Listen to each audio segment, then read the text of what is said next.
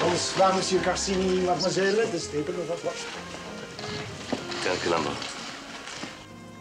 What is this? A table by the kitchen? This will never do. I'm sorry, uh, Monsieur Carsini, but when he walked in, I Just never get imagined... us a better table and stop simpering. Immediately.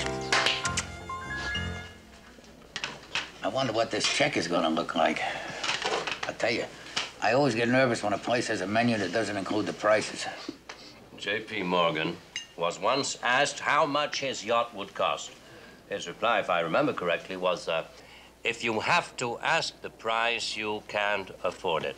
In this restaurant, if you have to look at the prices on the menu, you can't afford to eat here. Well, listen, it was good, wasn't it? Superb. That's the important thing. And equally superb was your wine selection. I, I must admit, I would never have thought of Mosel with the oysters or Zinfandel with the meat. I, I'm astounded by your newly acquired knowledge. I can't wait to hear what you've planned for our after dinner wine. I tell you, I did my homework very well on that. Wait one moment. Uh, I know exactly what I want. I'm just praying that they have it. You got a minute? Sir. No. Bring me a bottle of Ferrier Vintage Port, 1945. Ferrier? 45? You do have it, don't you? My dear Columbo, I'm afraid you've set this man an impossible task. I'm familiar with this particular vintage port, and I, I would um, hasten to wager that he does not have it in his cellar. Moreover, the price would be prohibitive. Allow me to check on it, sir. I hope to have it. I also hope my wife doesn't find out what this meal cost. Where is your wife? You said she might come along. Well, we had a little trouble with the babysitter. You see, our regular girl has her finals tomorrow, and everybody else is down there at the rock concert. You know what it is when you have kids. My dear Lieutenant, it's not fair for you to pay for this entire meal. At least let me take up half of it. No, no, I insist. No, not on your life. I deserve to pay for this. Mm-hmm. You know, I embarrassed you by suspecting you, and uh, no, no, sir. This is on me.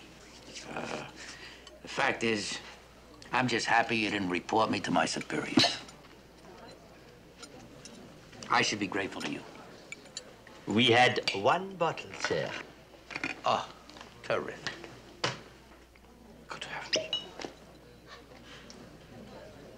Thank you. Oh, my dear Karen, I implore you not to smoke. You'll ruin an exciting taste experience with the bitterness of the tobacco. Very well, Mr. Adrian.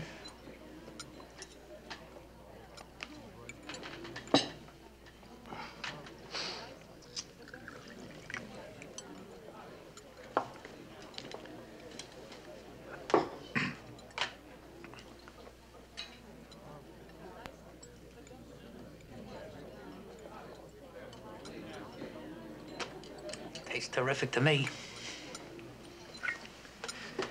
Drinks all around. Drink soda. Wonderful. What body.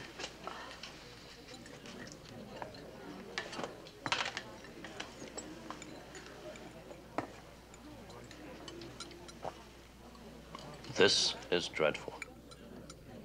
Monsieur, you... This is dreadful. Don't you realize that a great wine is like a great work of art? It has to be nurtured, it has to be taken care of. You have subjected this port to a temperature in excess of 150 degrees. Such disdain cannot and must not be tolerated. I advise you not to pay for the check. But, sir, I think that. Uh... This wine has been oxidized by overheating. Where did you keep it? On top of the stove? I assure you, monsieur. Don't you know any delicate wine spoils by being subjected to a rapid change in temperature? Serving this iodine is an insult. Monsieur Carsini, is there something wrong? Is there something wrong? Everything is wrong. An exciting meal has been ruined by the presence of this liquid filth. Monsieur Carsini, it is not our intention, but there will be no check for this table. No, no. Oh, no, we have no. our Listen, I insist. No, No, no, sir, no. I We had a insist. very I good should meal. No, come, listen. I apologize. I apologize, Monsieur. We had a very good meal, I must No, thank you very much. It's all right. No, no, it's all right. No, thank you. Thank you. No.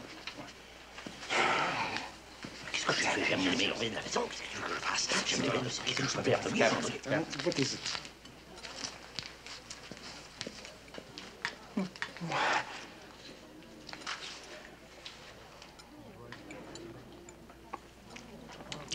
Just one more thing.